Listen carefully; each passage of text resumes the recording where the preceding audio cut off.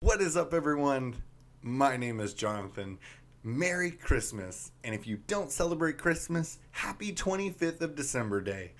means so much so much to me that you would join me today. As mentioned in all 25 of the previous day's videos, the link to download all 26 Adobe Illustrator files is in the description below. Before you do, I just ask that you would click like on this video. Please consider subscribing if you have not yet. It means so much to me. And with that, let's get started. Once you are in Adobe Illustrator, I have a 1920 by 1080 document open. Feel free to work with whatever, whatever document size you want. Hopefully this helps somebody. We are going to start off by making some shapes to get the base of our letter done just by grabbing your rectangle tool over here on the left hand side or you can hit M on your keyboard. We are going to make this shape 500 pixels by 100 pixels. Go ahead and click OK. We're going to get rid of the stroke. Now we're going to go back to our selection tool by hitting V on your keyboard or clicking this button right up here. Now click holding Alt, drag this down a bit, drag this and then do the same thing one more time. And now go to your selection tool, you already have it selected. Click on the end point here where you have the rounded arrow, holding shift, rotate this around so it's 45 degrees. If you hold shift, that way it locks it into 45 degree increments, makes that way easier. Now holding control, you're still on your selection tool. Click on this anchor point right here, drag it over, and it'll lock onto, you'll see it snap onto the anchor point of this piece and then the same thing for up here. So select your object, and then we're going to do the same thing up here. Select this object, holding control, click and drag this over until it locks onto that anchor point. You see it snap on there. And now we are going to go to our direct selection tool. That is the arrow below the selection tool. And now we're going to look for this one right here. We're going to click and drag this down over here. Boom. It says intersect. The, the far left line is still pink, so that means it is straight and then let go. Now that shape only goes to that shape.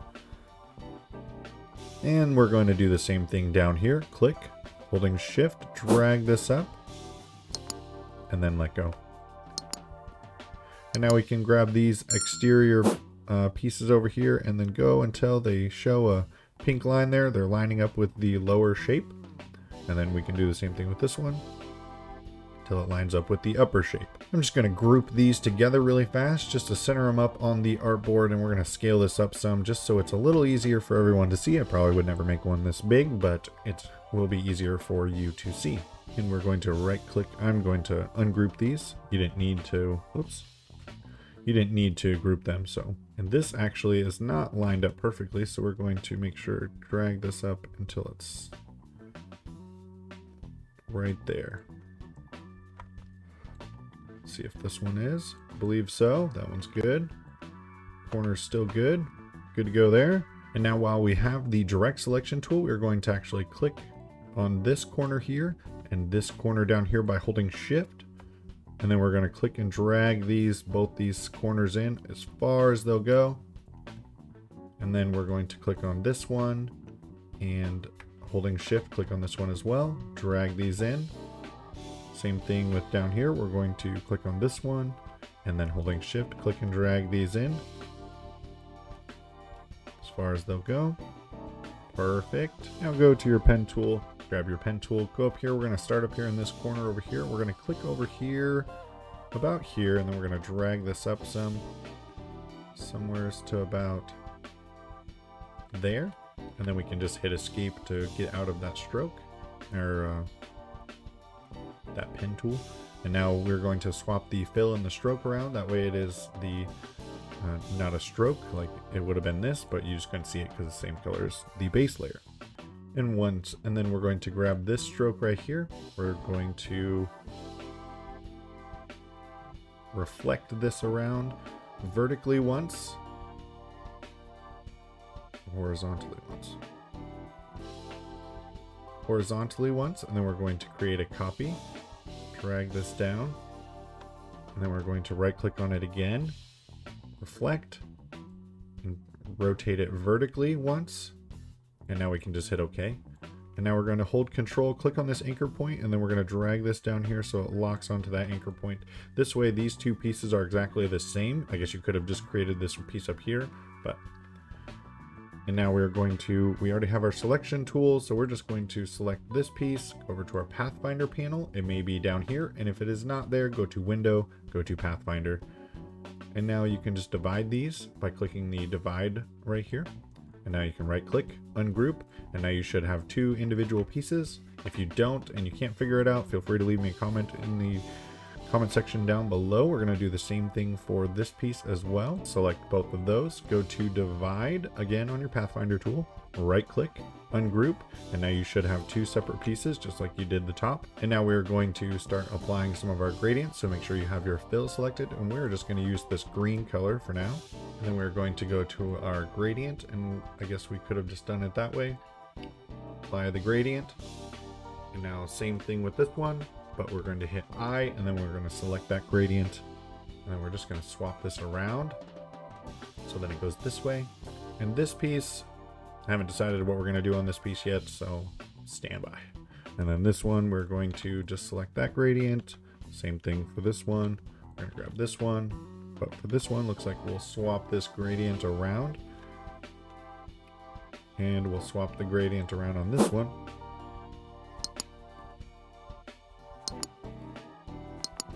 Go do something like that. And then this one.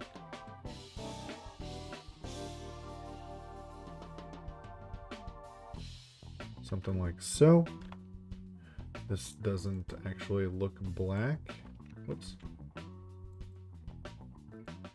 That's because it's not actually black. So make sure your gradient is actually black, because that's definitely not black.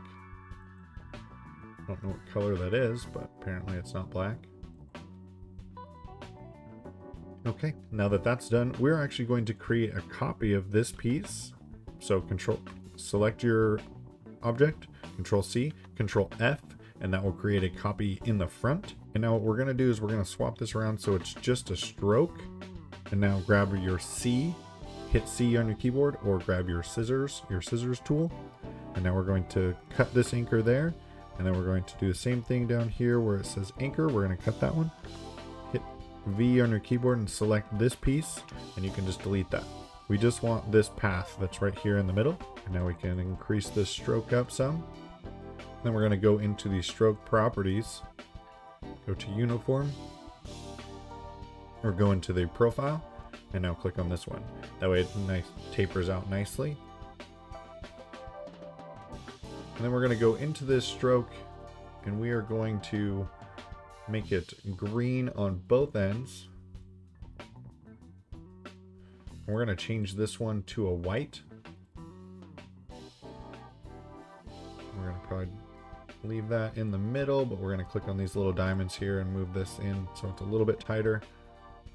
And which way do we need to move this so it's kind of more in the middle over here?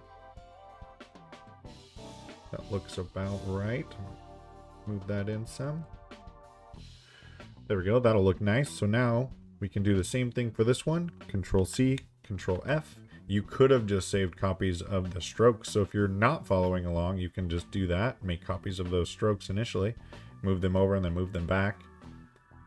But since I didn't do that, we have to do it this way. Hit C on your keyboard, cut the anchor, cut the anchor, go back to your selection tool, select this left path, and now you should have this path here in the middle. Crank that up, hit I, now you can select this gradient down here. It'll be, it'll just get you the gradient. That way it's the same. Then you just have to move this over. So go to your stroke. We need to change the profile of the stroke. And click and drag this over. So it's somewhere over there.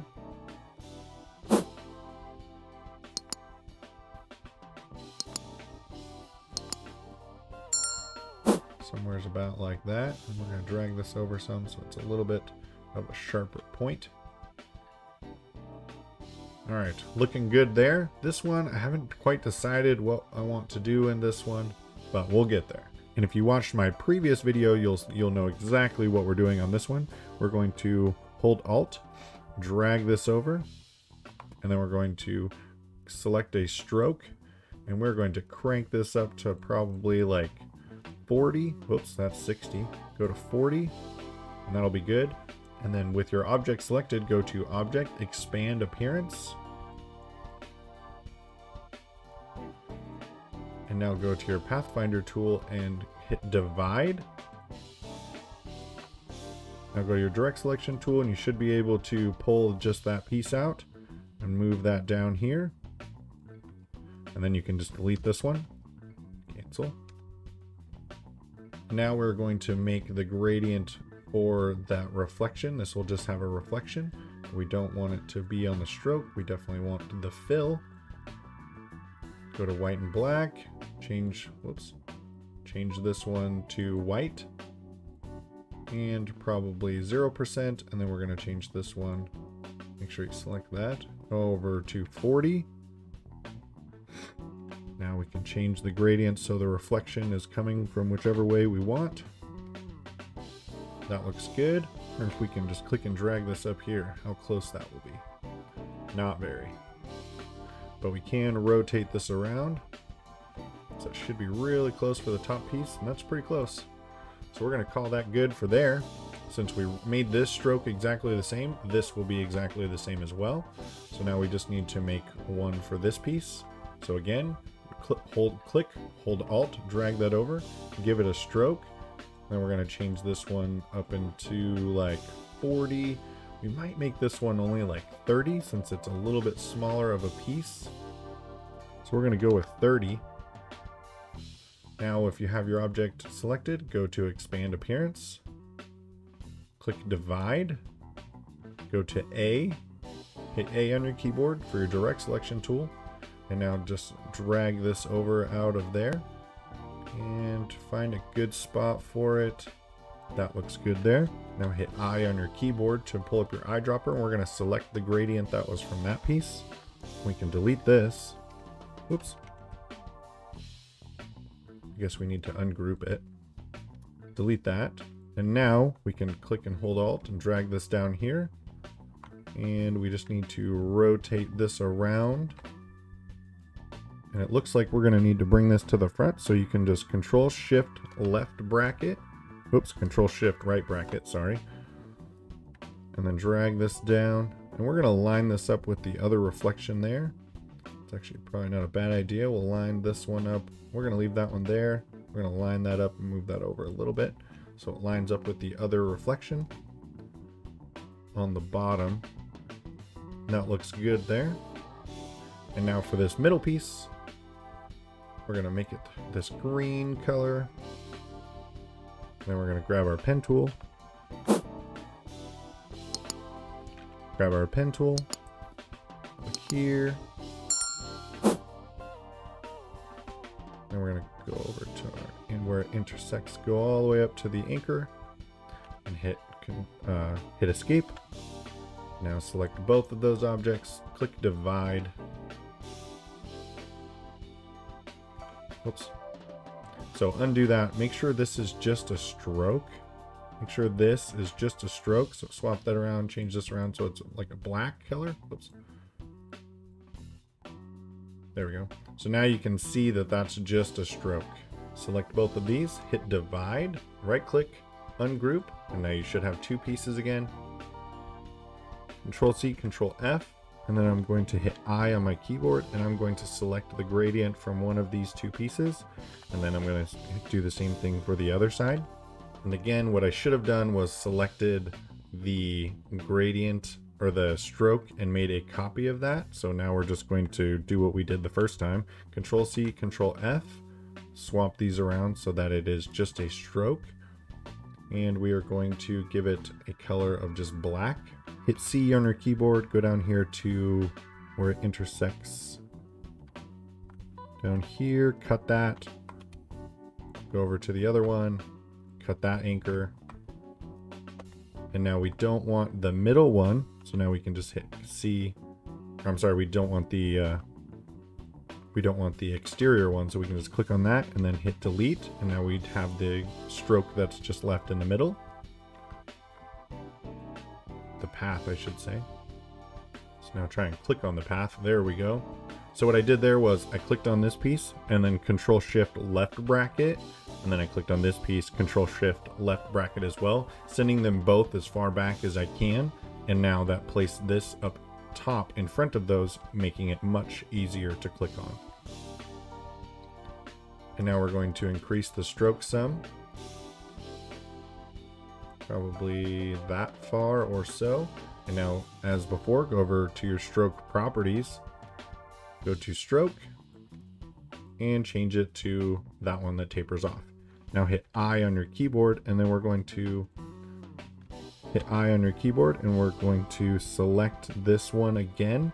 But we're going to go over here to our stroke, and we're actually going to add another one of these. So it'll have two spots where it's a little more shiny. That's what that's supposed to resemble, is where it's got some shine to it, like a reflection. Move this down some. Right about there. And if that don't look unique, I don't know what does. So we're going to do one more thing. We're going to grab our ellipse tool and then we're going to swap these around and we're going to grab just a white and black. Whoops. Get off the stroke, add the fill, go to the white and black, grab a radial gradient, and then we're going to just click and drag this out so it's something like so. Hit G on your keyboard, and then we're going to drag this in. Click on this one, drag this up. Now we're going to hit V on your keyboard, go back to your selection tool. We're going to drag this over here, put this about where this reflection would be. And now we're going to go to your opacity panel, your transparency panel, somewhere. Click on opacity, and we're going to change this to color dodge.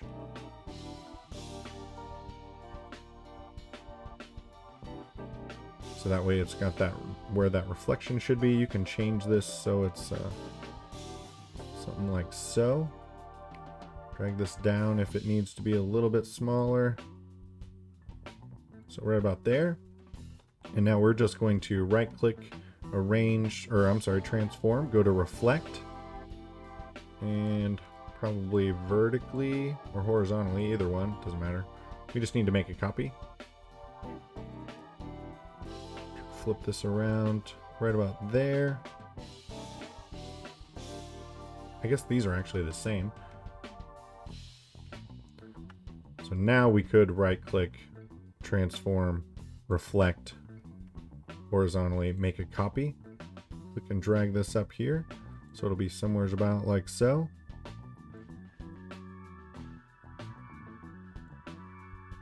Somewhere about like that. Then click, hold Alt, drag that up so it'll drag that up onto this piece as well. Something like so. That looks pretty good. So now we're going to select all of this, right click, group. I'm going to drag this down just a little bit, something like that. We're going to line this up in the center. Now we're going to make our background, go to rectangle, and we're just going to make this a black fill. Click here, drag this down, go to intersect right there. So now control shift left bracket, that'll send that all the way to the back. Once you've placed your background in the back, you can hit Control 2 and that will lock the background in place so then you don't have to worry about that. And now we're going to grab our ellipse tool one more time. We're going to, we are going to grab a gradient. We are going to make this gradient green and black. Now we're going to click and drag this out so it's something like so. Bring this down. We're going to edit this gradient substantially. Drag this down Something like that. Drag this out. Probably somewhere's around there. Whoopsies. We can hit control left bracket until it is below the the shape there. Something like that. It's probably even a little much. We can edit this gradient here. Drag that in some so it's not quite as ridiculously bright. Now what we're going to do is we're going to select this piece. Oops. We can lock this layer so that way it's not in the way. Select our Z, right click, transform, reflect horizontally, hit OK. And now while holding shift, drag this down so it's something like this. And now hit V, go over to your rectangle tool, click and drag this over that. We're gonna go up here to our black and white gradient, radial, and now hit G. And then we're gonna start up here in this corner and drag this up holding shift. That way it's a perfectly straight line. Drag this down some so it's kind of like that. And now what we're gonna do is drag our mouse over the gradient that we just made and the original shape. Go over here to your transparency panel. If you don't have that, go to Windows, go down to transparency. And then we're gonna click make mask.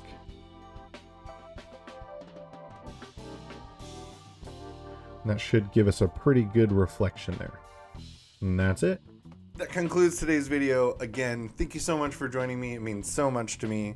Merry Christmas. Click the like button before you leave for the YouTube algorithm. If you haven't yet, make sure to consider subscribing. Click on this link right here. And if you want more content like this right now, make sure to click on these two links or you can click on the link below that's in the pinned comment. Thank you so much. God bless. Stay safe, and we will see you in the next video.